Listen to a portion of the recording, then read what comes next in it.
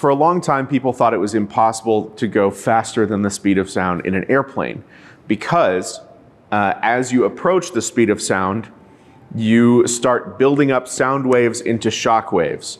So once you start getting close to the speed of sound, those sound waves start building up and become actual shock waves that from the ground sound like a boom. That's where we get the term sonic boom.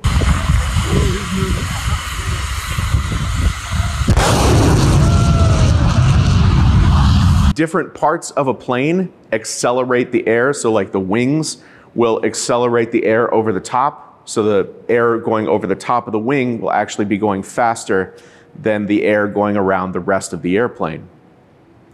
So what happens is the air going over the wings reaches the speed of sound before the actual airplane reaches the speed of sound and that can create shock waves on the leading edge of your wing. When that happens, you are messing with the flow of air that is going over the control surfaces of your airplane.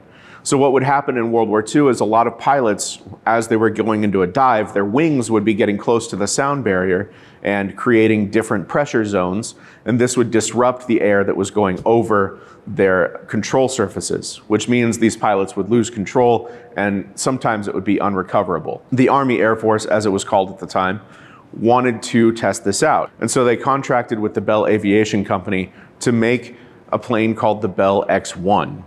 X stands for experimental. Uh, this was the first in a very long line of X planes or experimental aircraft that uh, that line is still going on today. So the X1, its whole purpose was to see how fast we could go uh, in an airplane. So there are a few different design changes that were made with the Bell X1. First, it had wings that were very, very thin. So they created very little drag going into the actual path of the aircraft. The X1 also had to be fitted with a special type of tail in order to maintain control as the airplane was actually going through the sound barrier. On October 14, 1947, Chuck Yeager became the first person to ever break the sound barrier. He went faster than the speed of sound in a Bell X-1. The real Bell X-1 is actually on display at the National Air and Space Museum in Washington, D.C. So our X-1 is one of the few artifacts in our gallery that is not from the actual mission or a trainer of some type. Um, our X1 is from the movie The Right Stuff. Have you ever seen the movie The Right Stuff?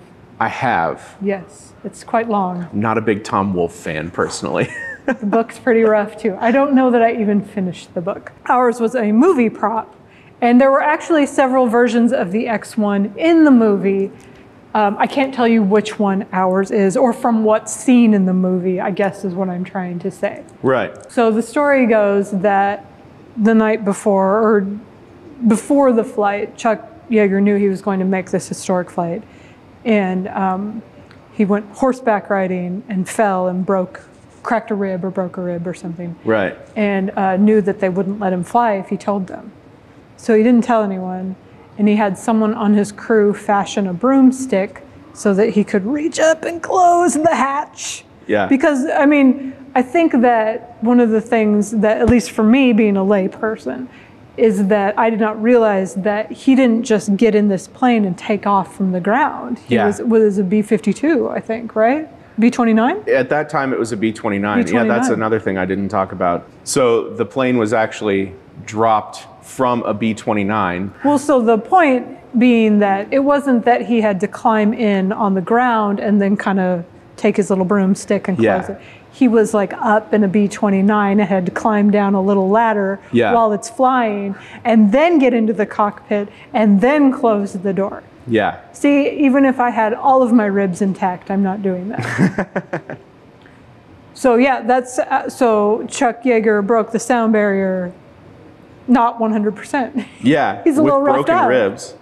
You know, they really are a special breed. I guess you know the whole po- to come full circle. They really did have the right stuff, didn't they?